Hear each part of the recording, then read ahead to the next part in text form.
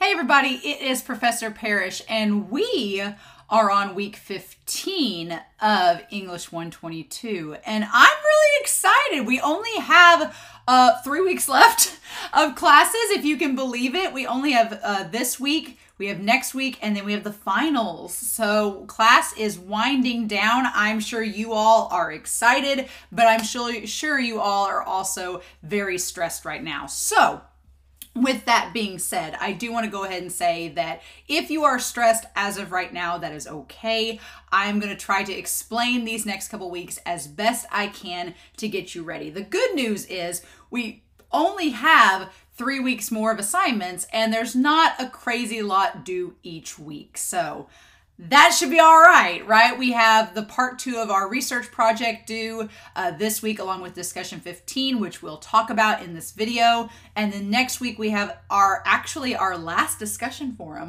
haha, along with a reflection essay, which I'll talk about all of that next week, along with like the review game for the final. And then our finals, really, you just have to take your final exam and that's it. So should be all right, right? You guys have worked really hard. You've definitely earned it. Um, but let's go ahead and talk about the assignments for this week. So in the module guide, um, there is a section about writing a research paper on pages 1841 to 1866 that can be very helpful. So if you are somebody that struggles with writing a research paper or you have questions or concerns, this is a good chunk of text to go and reference. Um, it goes through a lot of different things in terms of what to expect, what you should be looking at, and it's very, very helpful. And we'll go over that in this PowerPoint here in just a second. But we also have the discussion forum 15. Um, this discussion can be helpful as you work on the second part of your research paper. So I would actually expect you to engage a little bit earlier than usual um, with this discussion forum, which honestly, I want to say something about the discussion forum. Two things. One, everybody has been super awesome about getting in early to the discussion forum and posting ahead. So I really have appreciated that. I think that a lot of you get on the discussion forum early, you start the thread. So those of you that are doing that, y'all get gold stars because that's really awesome and I appreciate it. Um, the other thing though is some of you may have noticed the last couple of weeks if you've gotten instead of a five out of five, maybe a four or three or even a two out of five. And if you're wondering why that is, if you're getting five out of fives on your discussion forum, don't worry. You're doing great. If you are getting a four out of five, that probably means that in your responses, there may be like some of your responses aren't as detailed as they could be. That's probably why. But I have been giving out several threes as of the last couple weeks only because some people are just not doing a lot in the discussion forum. And honestly, when we only have two assignments a week, then you really should be engaging a lot in the discussion forum and talking. And some of the responses I've seen, like I've seen some students write the exact same response for multiple students. That's going to get your points docked. And I've seen some people that their actual forum post just isn't very detailed. It's like one or two sentences, and they're like, okay, well, I covered what I need to. You need to go into a little more detail. So if you are emailing or questioning why I'm giving the grade that I am, that is why. Again, if you're getting five out of five, you're doing awesome. No worries. If you've gotten four out of fives, that just means there's a couple little minor hiccups, maybe some grammar errors, nothing to worry about, which the grammar in this class y'all have been doing really good on. But I have noticed of some people are kind of slacking a little in the discussion forum the last couple weeks. So I want to make sure that you go out strong at the end of this at the end of this semester. I don't want your grade to dip because you didn't add a couple extra sentences that you could in the discussion forum. So, just to be transparent, I wanted to throw that out there. But we're going to review the instructions um, so you can email me with any questions. Um, we're going to also expect the second half of your research project to be submitted. It should be four to five pages long in MLA format, and it will need a works cited page in MLA, which will include five or more sources. So, altogether, your research project should have five or more sources. Now, one of those can obviously be your textbook, so that should be pretty easy to go to. And then the other four need to be some type of source, right? And we'll talk about that here with the PowerPoint in just a second. So, as for the discussion forum for this week, I'm going to be asking which text are you analyzing for your research project? In a simple sentence, give the theme of the text. You can also use a research question if you'd rather. We talked about that last week. Um, why is the theme important in today's world? Like, why is it relevant? Why does it matter?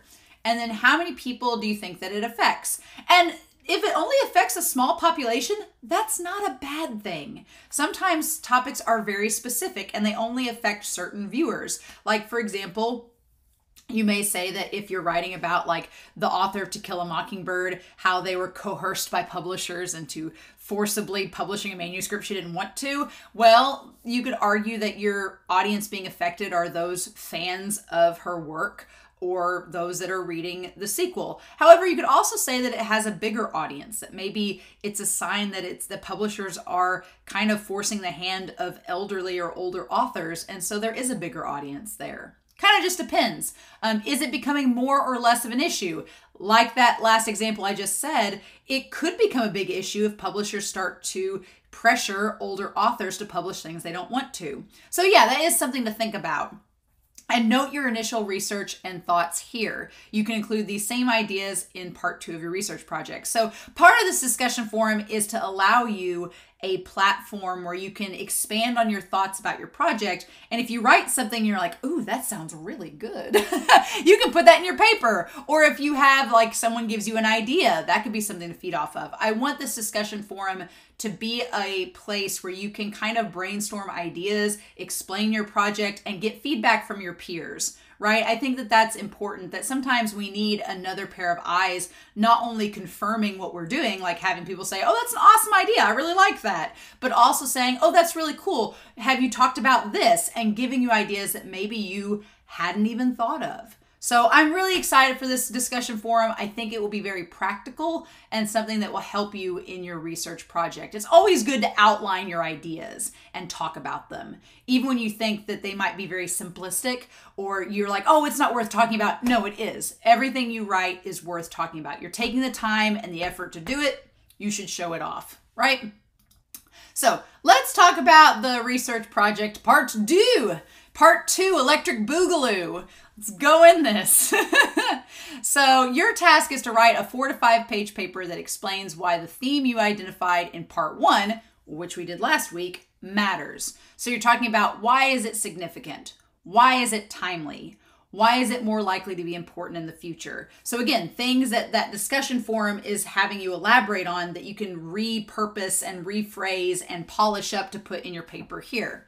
Now, obviously you need to use MLA format and I've got that PowerPoint at the beginning on our homepage. Uh, if you have trouble with MLA, it's way up here at the top. It's right there. There's a source citation presentation right there for you to use at your disposal. And it should have five or more sources. So uh, some hints you should restate the theme at the beginning. Don't summarize the text or repeat your previous essay. Obviously, it needs to be something new, but you can restate your theme.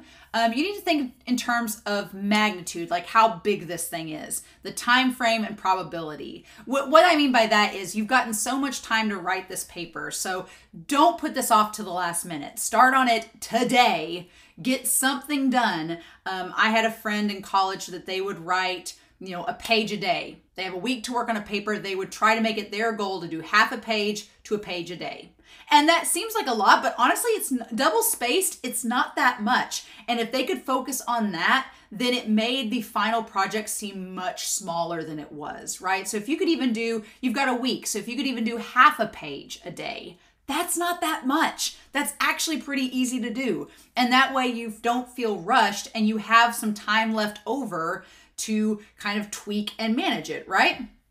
So also think in terms of probability, like how much are you going to get done a day and kind of plan for that.